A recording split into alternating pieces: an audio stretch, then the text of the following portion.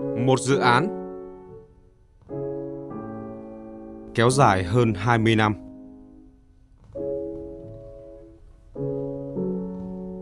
Cái gì ốm chi mà hầu tôi còn con ghé kìa.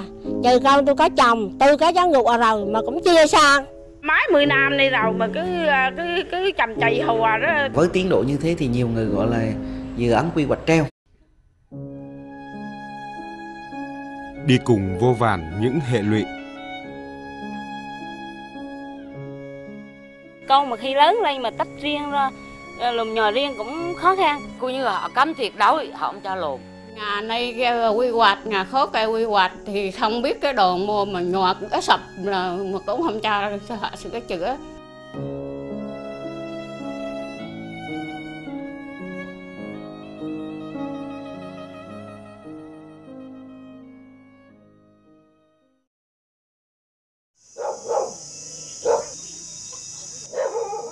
Gia đình bà Phan Thị Hồng, tổ 60, khu vực Hải An, phường Hòa Quý, quận Ngũ Hành Sơn, sinh sống ở đây qua nhiều thế hệ.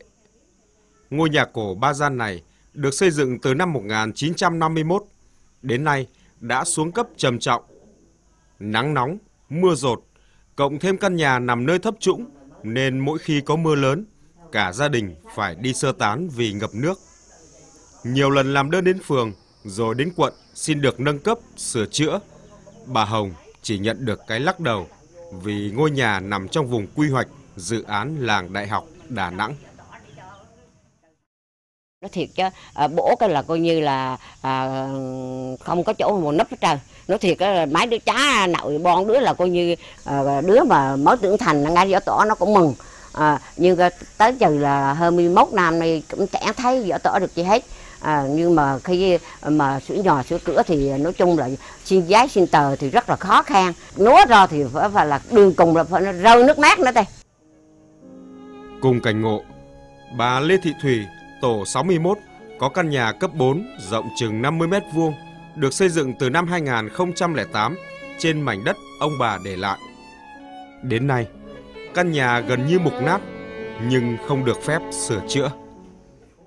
Người tét rồi cũng đầy hùa đấy đó.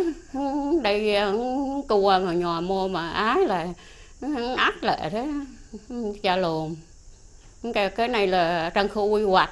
Mà trang khu quy hoạch mà chờ chờ hùa có không thấy quy hoạch.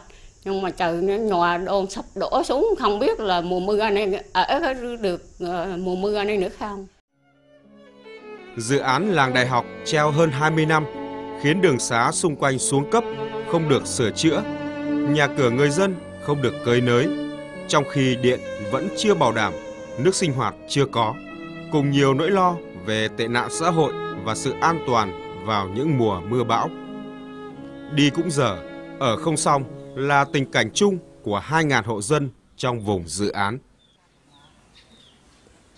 lần đại học mới là do triển khai chậm, bây giờ mà ờ, tính cái triển khai chậm nó cho nên cái đời sống của người dân rất là khó khăn. Trong đó việc là ờ, hộ gia đình nó có nhiều thế hệ ở không tách thửa nên cái việc sinh hoạt đi lại gặp nhiều khó khăn.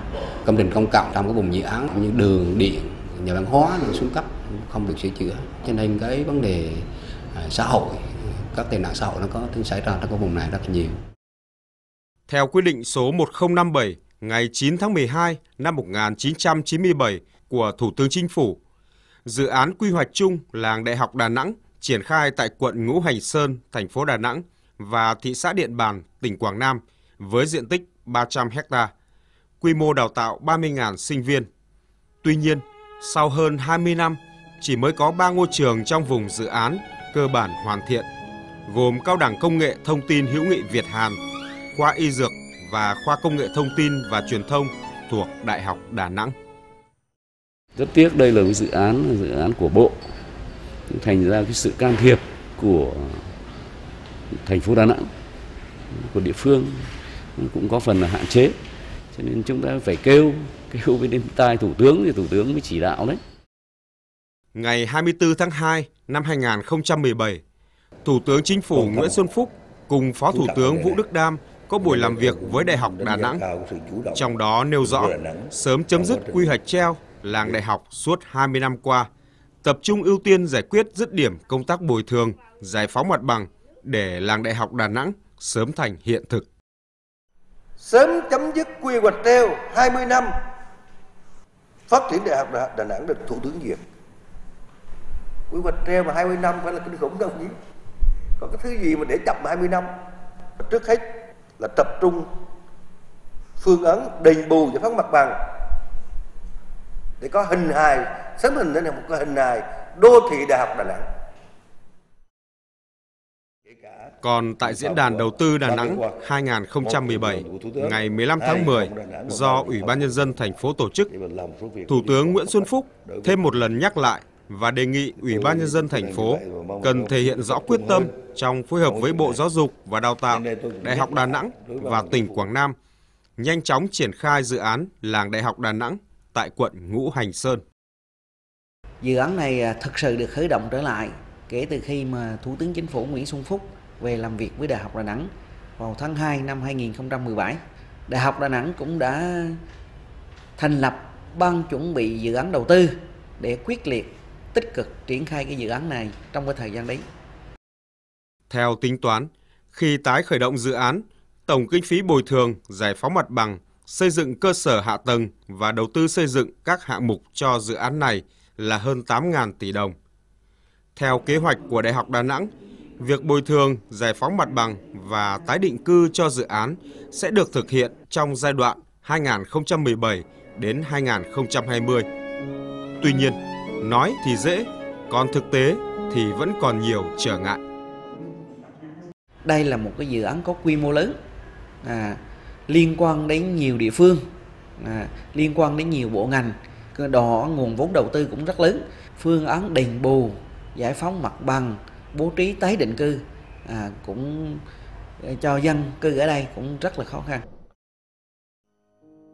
Khó khăn trồng chất khó khăn, niềm tin của người dân dành cho dự án làng Đại học Đà Nẵng cứ thế vơi dần theo năm tháng. Đỉnh điểm, ngày 16 tháng 10 năm 2014, lãnh đạo hai địa phương Đà Nẵng và Quảng Nam đã thống nhất đề xuất chính phủ hủy bỏ dự án này vì quy hoạch treo dai dẳng gây nhiều ảnh hưởng đến công tác quy hoạch chung của địa phương cũng như cuộc sống của hàng ngàn hộ dân.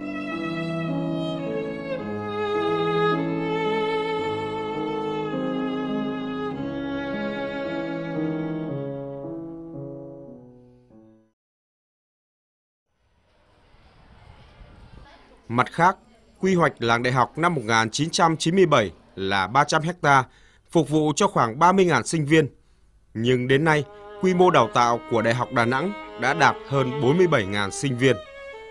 Rõ ràng, nếu giữ quy hoạch cũ thì làng Đại học Đà Nẵng dù được xây dựng vẫn không đáp ứng được yêu cầu thực tế. Số lượng sinh viên tăng lên dự kiến là nhanh như thế đấy. Bây giờ hơn 50.000 rồi. Đến năm 2035 dự kiến là 60.000 nhưng tôi nghĩ chắc là còn phải hơn nữa. Không sớm triển khai thì làm sao kịp được. 20 năm rồi mà chưa triển khai được bao nhiêu. Thế thì từ nay đến 2035 cũng quãng thời gian chưa bằng từng đó nữa. Nếu với tốc độ như thế này thì không thể giải quyết được vấn đề xã hội. Xã hội ngày một phát triển, nhưng làng đại học Đà Nẵng sau 20 năm khởi động hiện vẫn còn nằm trên giấy. Trước tình hình đó, thành phố Đà Nẵng đã quyết định đầu tư xây dựng làng đại học ở xã Hòa Ninh, huyện Hòa Vang với quy mô gần 275 ha nhằm đáp ứng nhu cầu phát triển các trường đại học ngoài công lập.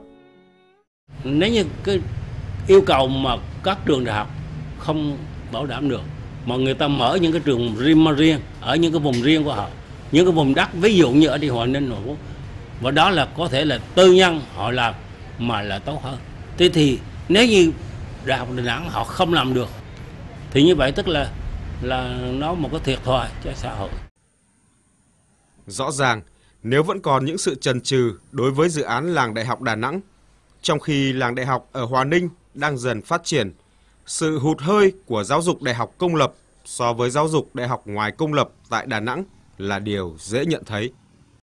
Và tại buổi làm việc với thành phố Đà Nẵng gần đây, ngày 24 tháng 9 năm 2018, Thủ tướng Chính phủ Nguyễn Xuân Phúc đã một lần nữa nhắc lại sự chậm trễ của dự án này. Nhân đây tôi cũng nhắc lại đối với văn phòng chính phủ cũng như là bộ kế hoạch đầu tư về cái chủ trương của thủ tướng về việc xây dựng ba cái thành phố đại học hay là đô thị đại học của thành phố Hồ Chí Minh, Đà Nẵng và Hà Nội. Trong đó có việc là ưu tiên bố trí mặt bằng sạch cho ba cái đại học này để chúng ta tiếp tục xây dựng thời gian đến. Những công việc này rất quan trọng cùng việc chuẩn bị đầu tư.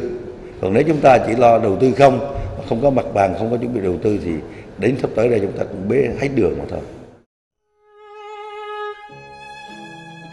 Khi chúng tôi thực hiện phóng sự này, dự án làng Đại học Đà Nẵng vẫn đang dậm chân tại chỗ, đồng nghĩa với việc hàng ngàn hộ dân phải tiếp tục sống dở, chết dở, mòn mỏi chờ dự án làng Đại học Đà Nẵng chưa biết khi nào trở thành hiện thực. Và hơn hết, một dự án xuyên hai thế kỷ của Bộ Giáo dục và Đào tạo sẽ còn được nhắc đi nhắc lại trong nhiều năm nữa, mà thiệt thòi cuối cùng thuộc về người dân cũng như thế hệ sinh viên hiện tại và tương lai.